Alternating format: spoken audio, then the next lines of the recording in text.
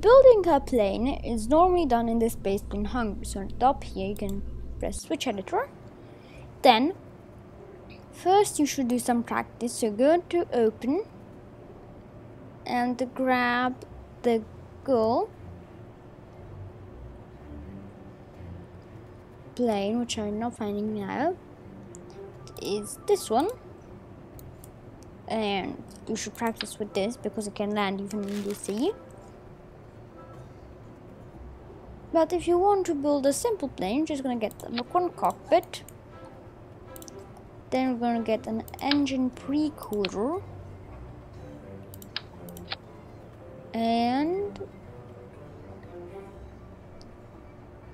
a Mach 1 drive supersonic intake and then you need a Wheesley turbofan engine and then you need an AV-8 winglet to put here.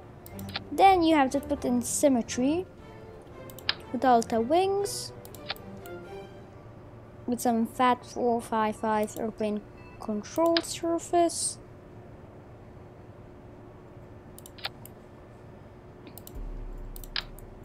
A small landing gear, some small landing gears. Yes, small landing gear here and also here. Then you can do launch. Now,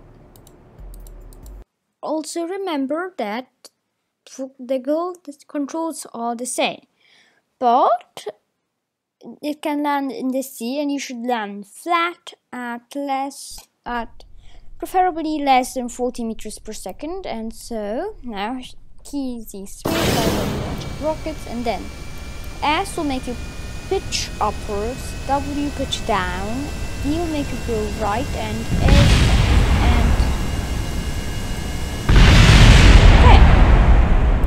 okay. This is how you learn from planes. These wheels have to be put further apart from one to the other otherwise it's gonna fall practically just put them here and launch this is why you don't put too many hurdles in a plane if you don't aren't sure that it works.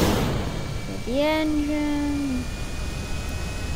Okay so as I told I said already the controls. So, okay. So S upwards, W downwards, then E is right and A is left. G is to toggle the landing gear. D is to temporarily activate the brakes. So the brakes are on for as long as we press B on the keyboard. Brakes.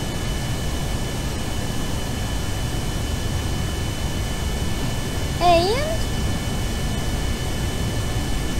if you want to turn, so if you want to go right or left I you use A and B.